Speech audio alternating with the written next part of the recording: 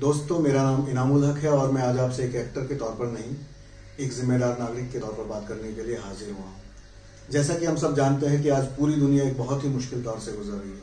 हम सब मुश्किल दौर से गुजर रहे हैं। हिंदू, मुस्लिम, छोटा, बड़ा, अमीर, गरीब, सब के सब बहुत ही मुश्किल दौर से गुजर रहे हैं। और जब सभी मुश्किल दौर से गुजर रहे हैं तो हमें हिंदू, मुस्लिम, छोटा, बड़ा छोड़कर सिर्फ़ उस मुश्किल से लड़ने पर अपना पूरा फोकस और ध्यान रखना चाहिए। जैसा कि हम देख रहे हैं कि चीन, अमेरिका और यूरोप के बाकी देशों के मुकाबले हमारे देश की स्थिति फिर भी कुछ हद तक बेहतर है।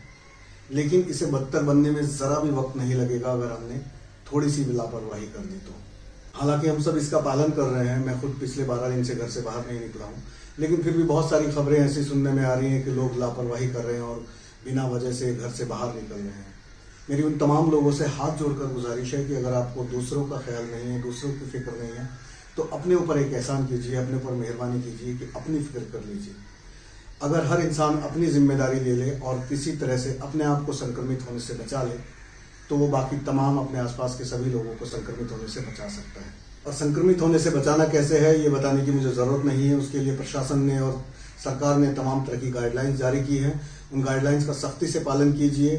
पुलिस का और डॉक्टर्स का पूरे पूरी तरह से सहयोग दीजिए। दूसरी एक बहुत ज़रूरी बात मैं कहना चाहूँगा कि अफवाहों पर बिल्कुल भी ध्यान मत दीजिए। ऐसे समय में भी कुछ लोग फ़ायदा उठाना चाहते हैं, चाहे वो राजनीतिक फ़ायदा हो या आर्थिक फ़ायदा हो। प्लीज़ फेक न्यूज़ और अफवाहों से दूर रहिए। इस बीमारी का कोई इलाज नहीं है, ना झाड़ ना जादू टोना और ना ही किसी और तरह का उपचार। सावधानी इसका इलाज है। ऐसे समय में भी जो लोग फ़ायदा उठाना चाह रहे हैं, चाहे वो राजनीतिक फ़ायदा हो या आर्थिक फ़ायदा हो, उन सबसे मैं इतना ही कहना चाहूँगा कि एक जर्रे के करोड़ों हिस्से के बराबर एक वायरस ने इंसान को उसकी हैसियत बता दी। तो मेहरबानी करके किसी गलत फहमी में रहिए। कुदरत में बहुत बड़ी ताकत है। बहरहाल, सबसे अहम और सबसे ज़रूरी बात यह है कि इस दुनिया में वायरस से ज़्यादा लोग भूख से मरते हैं।